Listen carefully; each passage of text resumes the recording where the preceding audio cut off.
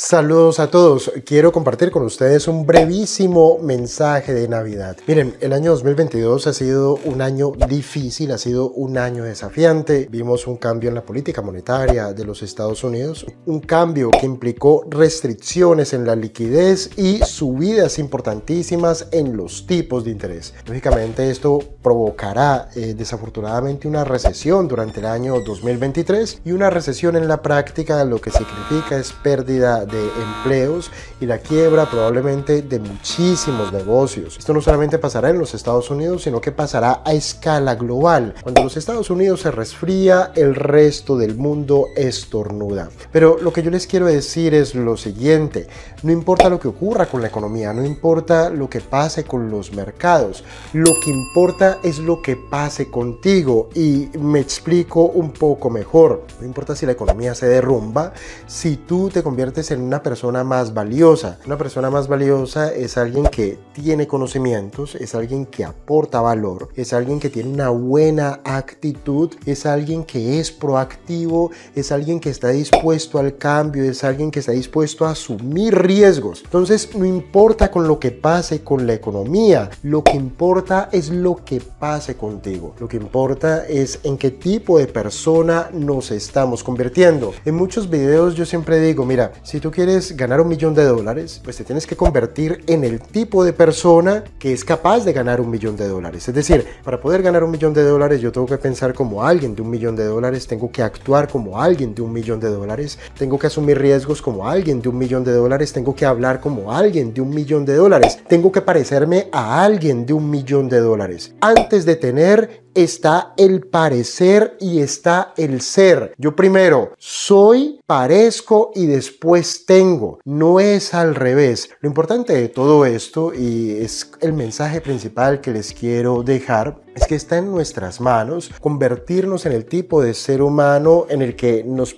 en el que nos queramos convertir. Realmente en este sentido no existen límites. Piensen en lo siguiente. Miren, miren yo cómo vivo. Yo vivo en una casa con un jardín, una casa con piscina, no es una mansión de lujo. Tengo una biblioteca que es bonita, es mi biblioteca. Tengo eh, equipos que me ayudan a trabajar mejor. Tengo mi propio despacho en casa. Vivo cómodo, vivo sin apuros. Y eh, lo principal para mí es que trabajo en lo que me gusta. Ahora comparen esto, visualícenlo, acompáñenme por favor, cierren los ojos si es posible. Visualicen la manera en la que yo vivo ahora, en donde yo trabajo ahora, a lo, a lo que yo me dedico ahora. Ahora imagínense a mí subido en una moto sucio, con el cuello roto, con el cuello lleno de rotos y todo esto sucio, oliendo a humo, negro porque todo el día eh, estoy aguantando sol y estoy sudado y estoy vuelto nada. Imagínense a Ángelo Rico a los 22 y a los 23 años. Pues ese era yo, ese era yo y yo era un simple mensajero que ganaba el salario mínimo, un trabajo digno, un trabajo respetable, pero que si yo no me lo hubiera propuesto, en eso seguiría trabajando. ¿Por qué lo digo? Porque los amigos que yo tuve en esa época que eran mensajeros conmigo, ellos tienen 44 años igual que yo los tengo, pero ellos siguen trabajando en eso. No los critico, pero al final de cuentas lo que nosotros logramos con nuestra vida es producto de nuestras decisiones. Entonces piensen, ¿cuál es el tipo de persona en la que se quieren convertir? ¿En qué se quieren transformar? Y ahora piensen, ¿qué es lo que debo aprender? cuál es el tipo de hábitos que debo eh, eh, inculcarme, eh, los hábitos que debería desarrollar en mi vida y en todos mis días de trabajo y en mi vida personal. ¿Cuál es el tipo de habilidades que debería desarrollar para lograr determinadas metas? ¿Cuál es el tipo de conocimientos? ¿Cuál es el tipo de experiencia que tengo que empezar a desarrollar para llegar hasta donde quiero llegar? Piénsenlo, yo siempre he dicho en muchísimos videos que las personas cambian por dos cosas, o por motivación, que es cuando tú te visualizas y tú dices, yo quiero convertirme en esto y entonces eso te genera el chute de energía que necesitas para mover el culo, salir del sofá y comenzar a hacer cosas que nunca antes te habías atrevido a hacer. Entonces lo primero que te puede hacer mover de donde estás es la motivación, en qué te quieres convertir. La segunda cosa que te podría hacer mover y que creo que es la que desafortunadamente más funciona con la mayoría de las personas es cuando sienten miedo. Por ejemplo, cuando yo tenía 22 años, yo recuerdo que trabajaba con un compañero que era mensajero, pero él tenía 45 años y yo decía, yo soy él, pero yo tenía 22, 23 años. Y yo cuando lo vi, yo lo vi sucio y lo escuchabas hablar y solamente hablaba de eh, fútbol, de telenovelas, todo el tiempo diciendo vámonos a tomar una cerveza y, y, uno sabía que él estaba mal económicamente. Y yo decía, pero yo soy yo. O sea que cuando yo tenga 45 años, yo voy a ser como él. Ojo, yo no quiero, yo no quiero criticar a nadie. Yo, cada cual vive su vida como quiera, pero a mí eso me, dio, eso me asustó. ¿Por qué? Porque a mis 22, 23 años yo ganaba muy poco dinero. Mi madre toda la vida la vi sufriendo y llorando por dinero. Y eso siempre todo era un problema. Es decir, sin dinero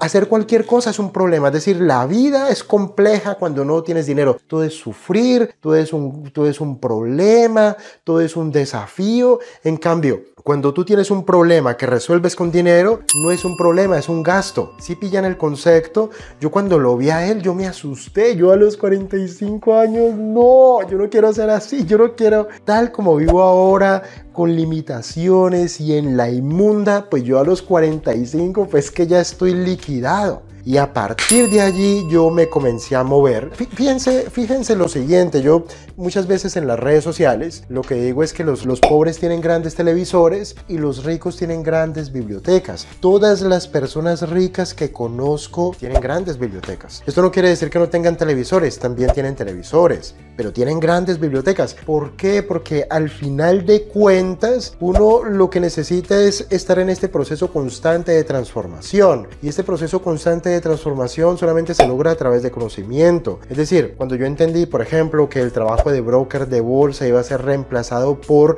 plataformas de trading, entonces que los clientes no me iban a necesitar a mí, sino que iban a entrar en una página web e iban a contratar los servicios del broker a través de la página web, por lo cual yo iba a ser alguien totalmente sustituible. Cuando yo entendí eso, yo empecé a hacer una transición hacia mi, hacia mi independencia económica, porque es que si tú no cambias, a ti te cambian. Y es mucho más fácil cambiar a los 20, a los 30, a los 35, a los 40, que después llegar a los 50, a los 55, a los 60 y ver que el mundo te deja atrás y que económicamente tú vas de para atrás y que cada vez dependes más de los hijos o dependes del gobierno o dependes de la caridad o todo el tiempo estás con el culo al aire. Perdónenme el lenguaje, pero tú uno o cambia porque se visualiza, porque eh, nos imaginamos en lo que nos queremos convertir y eso nos motiva o cambiamos por miedo, por miedo. Entonces, pensemos, aprovechemos la Navidad, aprovechemos este momento tan bonito. ¿En qué me quiero convertir? ¿Cómo quiero vivir? ¿Cuánto dinero me quiero ganar? Y a partir de allí, de esos números, empezar a decir, para llegar aquí, ¿qué tengo que aprender? ¿Con quién me tengo que juntar? ¿Qué habilidades tengo que desarrollar? ¿Cómo tengo que pensar? ¿Cómo tengo que hablar? ¿Cómo me tengo que comportar? ¿Cuáles son las atmósferas que debo frecuentar? Y cuando te lo respondas, empezarás a recorrer un camino muy bonito, que fue el que yo comencé a recorrer cuando tenía 22, 23 y 24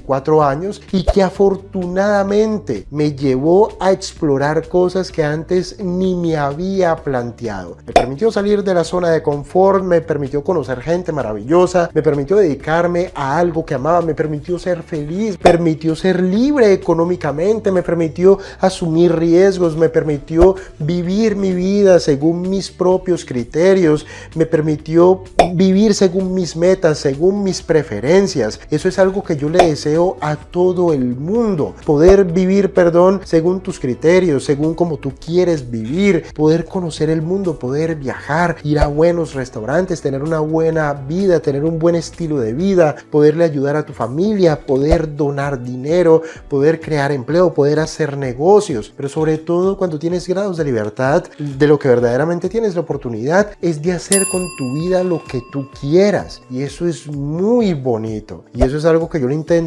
transferir a mis hijos o que yo le intentaré sembrar en la cabeza a mis hijos. Y eso es lo que yo por todos los medios quiero sembrar en todos ustedes. Quiero sembrar la semilla del cambio. Quiero sembrar la semilla del conocimiento continuo. Quiero sembrar la semilla del desaprender para volver a aprender. Quiero sembrar la semilla del reseteo. Quiero sembrar la semilla del cambio de hábitos para mejorar. Quiero sembrar la semilla del desarrollo de habilidades valiosas. Quiero sembrar la semilla del cambio, de ser mejor, de subir nuestros estándares, de convertirnos en mejores seres humanos, de convertirnos en el tipo de ser humano que no es una advertencia, como aquel amigo que cuando yo era mensajero yo tenía 22 y él 45, él fue una advertencia para mí. Pero en cambio, yo, y lo digo con humildad, yo no soy una advertencia para los demás, yo soy un ejemplo. Un ejemplo, ¿por qué? El ejemplo de alguien que ganaba el salario mínimo y logró prosperar, el ejemplo de alguien que se logró superar, el ejemplo de alguien que se basó en el conocimiento para lograr sus metas,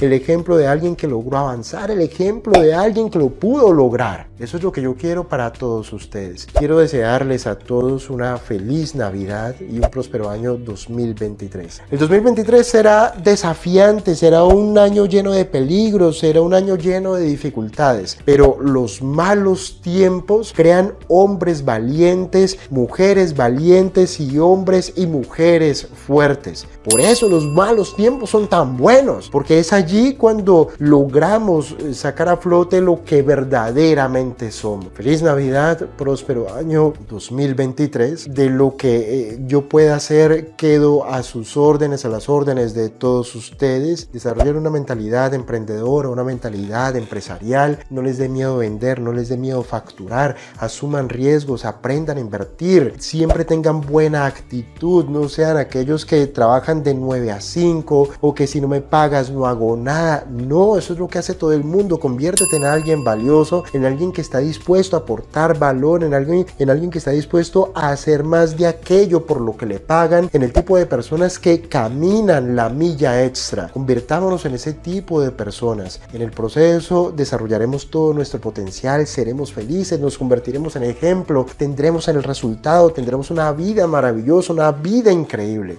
Y eso es lo que deseo para todos ustedes. Un abrazo y nos vemos en el próximo año. Hasta pronto.